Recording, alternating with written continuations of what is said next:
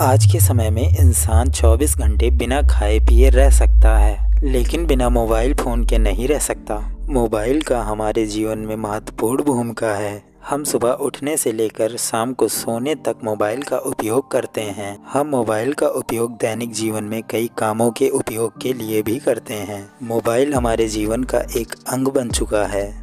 क्योंकि मोबाइल के बिना हम एक मिनट भी नहीं रह सकते। आज के समय में सभी चीज़ें ऑनलाइन हो चुकी हैं। चाहे हमें शॉपिंग करनी हो या किसी के पास पैसे भेजने हो, या फिर किसी से बात करनी हो, यह सभी काम हम अपने मोबाइल से अपने घर बैठे आसानी से कर सकते हैं। इसीलिए मोबाइल हमारे जीवन का एक हिस्सा बन चुका है। आज सबके पास मोबाइल है, चाहे गरीब हो या अमीर। युवा से लेकर बुज़ुर्ग तक सबकी ज़िंदगी मोबाइल पर निर्भर हो चुकी है। आज के समय में मार्केट में जो फ़ोन आ रहे हैं, वो काफ़ी स्मार्ट होते हैं और काफ़ी हल्के भी होते हैं। लेकिन क्या आप जानते हैं, दुनिया का सबसे पहला फ़ोन दो किलो का था? इंसानी इतिहास में फ़ोन का आविष्कार अपने आप में एक बहुत बड़ी क्रांति थी। उसके लगभग सौ साल बाद मोबाइल फ़ोन हमारी ज़िंदगी में आया। उसके आते ही जैसे सब कुछ बदल गया।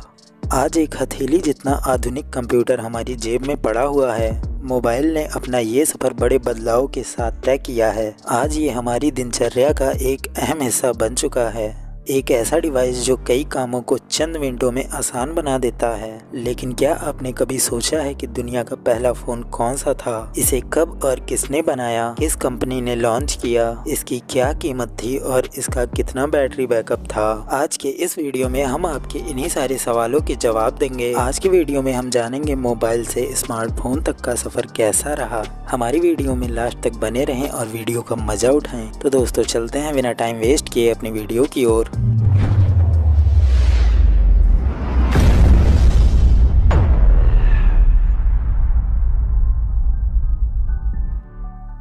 तीन अप्रैल 1973 में दुनिया का पहला मोबाइल फ़ोन मार्टिन कूपर नाम के एक इंजीनियर ने बनाया था, जिस मोबाइल फ़ोन को मोटरोला नाम दिया गया। तीन अप्रैल 1973 मोबाइल फ़ोन का बर्थडे कहा जाता है। इसी तारीख को मोबाइल फ़ोन का पहली बार इस्तेमाल किया गया था। बता दें कि दुनिया का पहला मोबाइल फ़ोन बनाने वाले इंजीनियर मार्टिन कूपर ने उन्नीस सौ सत्तर में मोटरोला कंपनी को ज्वाइन किया था। इसके मात्र तीन साल में उन्होंने वह कर दिखाया जो काबिल तारीफ़ था। आइए अब दुनिया के पहले मोबाइल फ़ोन के वज़न बैटरी बैकअप और कीमत के बारे में जानते हैं। आज हर किसी के हाथ में स्मार्टफ़ोन दिखना आम बात हो गई है, लेकिन जैसा कि आप जानते हैं, स्मार्टफ़ोन से पहले तक सिर्फ़ मोबाइल फ़ोन का चलन था।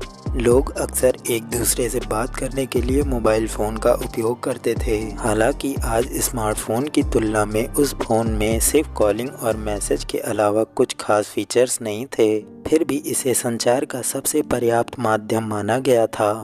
अमेरिकन इंजीनियर मार्टिन कूपर ने जिस मोबाइल फ़ोन को बनाया था, उसका वज़न दो किलो से भी ज़्यादा था। इसके इस्तेमाल के लिए एक बड़ी बैटरी को कंधे पर लटका कर चलना पड़ता था।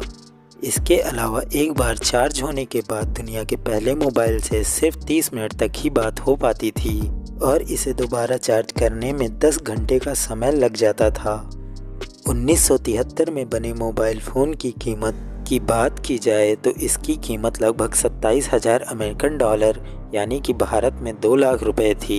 यह मोबाइल तेरह सेंटीमीटर मोटा और पाँच सेंटीमीटर चौड़ा था, जिसकी तुलना ईंट या जूते से की जाती थी। न्यूयॉर्क की एक सड़क पर खड़े होकर जब मार्टिन कोपर ने उसी फ़ोन से पहली कॉल की थी तो उन्हें इस बात का अंदाज़ा नहीं था कि उनकी ये खोज कितनी भारी सफलता अर्जित करेगी। पहले मोबाइल हेडसेट के केवल बातचीत यानी वॉइस कॉल्स ही की जा सकती थी, लेकिन यही मोबाइल फ़ोन तकनीक आगे चलकर इतनी विकसित हुई कि कई एप्लीकेशन एक साथ मोबाइल फ़ोन में मिलने लगी। दोस्तों, आज हमारा देश दुनिया के सबसे सस्ते इंटरनेट वाले देश में गिना जाता है। दोस्तों, आपको बता दें 23 अगस्त उन्नीस सौ पंचानवे को देश में पहला सेलुलर फ़ोन आया। सबसे पहले कोलकाता में सेलुलर फ़ोन को व्यवसायिक तौर पर पेश किया गया था। मॉडी टेल्स्ट्रा नाम की कंपनी ने भारत में इस सेवा की शुरुआत की थी। कंपनी ने इस सर्विस का नाम मोबाइल नेट रखा था। यह कंपनी बाद में स्पाइस टेलीकॉम के नाम से अपनी सेवाएँ देने लगी। मोबाइल नेट की सेवाओं के लिए नोकिया के हैंडसेट का उपयोग हुआ था। 31 जुलाई उन्नीस सौ पंचानवे को भारत में पहली बार मोबाइल कॉल की गई। यह कॉल कोलकाता से दिल्ली के लिए की गई थी। पश्चिम बंगाल के तत्कालीन मुख्यमंत्री ज्योति बसु ने उसी समय के केंद्रीय संचार मंत्री सुखराम को यह कॉल की थी। यह कॉल नोकिया के हैंडसेट इक्कीस दस से की गई थी। यह जीएसएम नेटवर्क पर पहली कॉल थी। इसके बाद मार्केट में नई नई कंपनियाँ आती गई और मोबाइल फ़ोन्स का लुक बदलता गया। यह समय वो समय था जब कीपैड से टच स्क्रीन आ गई थी। साल 2016 में रिलायंस जियो की लॉन्चिंग के बाद का समय भारत के लिए स्मार्टफ़ोन की क्रांति से कम नहीं रहा। जियो के आने से पहले telecom sector voice call plans पर फोकस्ड था। जियो के आने के बाद यह सेक्टर इंटरनेट प्लान्स पर फोकस्ड हो गया। डेटा देखते ही देखते काफ़ी सस्ता हो गया।